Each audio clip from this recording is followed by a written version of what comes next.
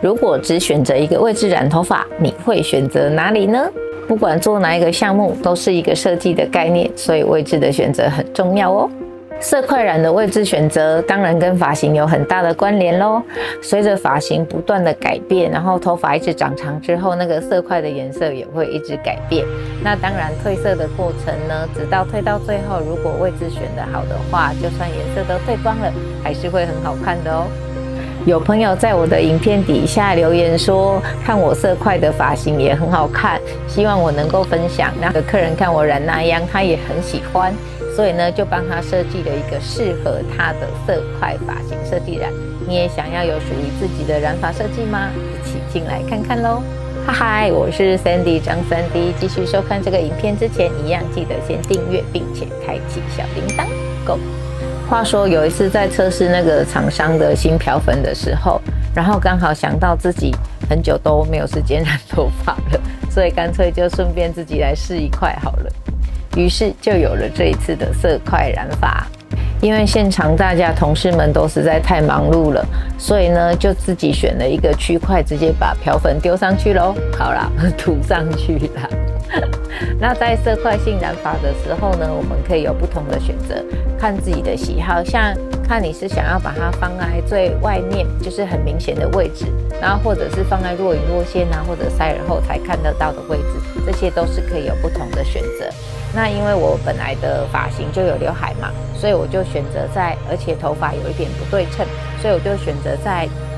比较长的那一边做一个颜色的色块，然后利用头发垂落下来头壳的原理，就是它会有一点点像这样子垂落下来，有点盖住，所以我把这边的头发稍微拨开，然后染了一个可以很明显看见又可以若隐若现的位置。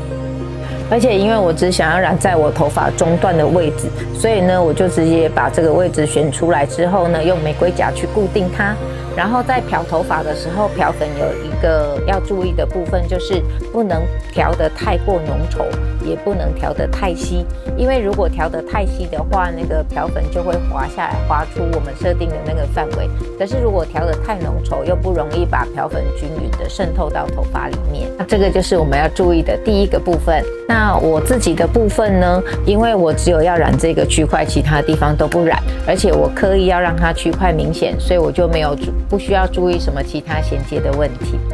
我这位美丽的小姐呢，她原本之前头发染的是线条染，然后因为看到我这样，她也想要把它染成色块染。所以呢，我除了把我要染的那个色块跟他沟通好、选取隔好之外呢，其他的部分我在漂头发的同时呢，也会同时把它染深，因为呢，我们要把它其他线条的地方染的比较一致一点，看起来整个头发才不会那么花。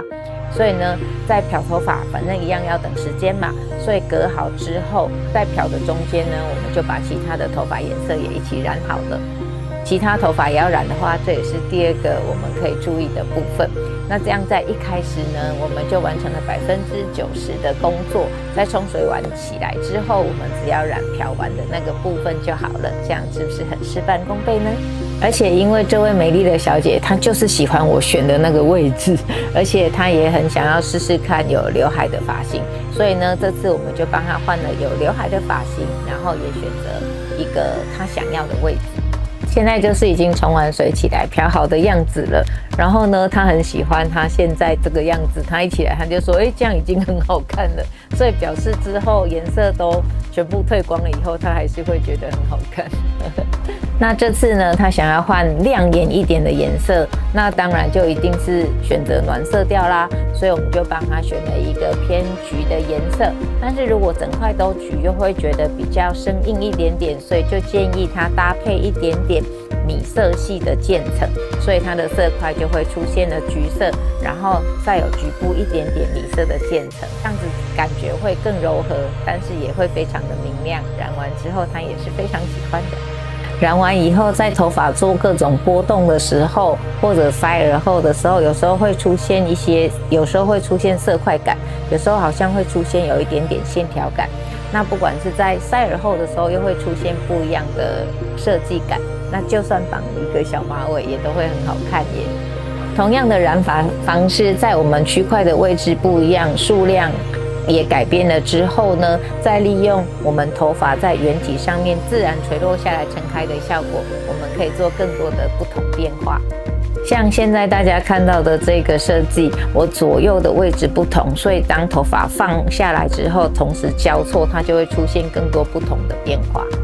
颜色的表现会完全不一样，有时候会光影，有时候会看到色块，是不是很有趣呢？我们在画画的时候是画在一个平面上，然后我们在染头发的时候是染在一个立体的体积上面，会有里面、外面、上面、下面。所以呢，我们头发在放的位置，只要选的色块有所不同的时候，它的表现是千变万化的，是不是很有趣、很好玩呢？